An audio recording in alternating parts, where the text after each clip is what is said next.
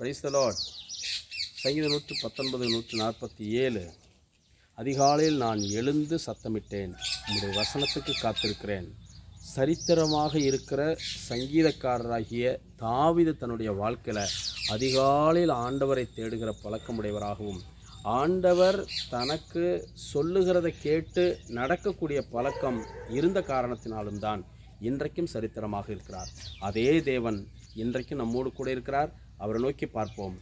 அவர் ஜெயம் தருவார். அதுக்கு ஒரே நல்ல வழி அதிகாலையில் நாம் ஆண்டவர் நோக்கி நாம் துதிக்கணும் ஆராதிக்கணும் அவரை மகிமைப்படுத்தணும் வேண்டுதல் விண்ணப்பங்களை வைக்கணும்.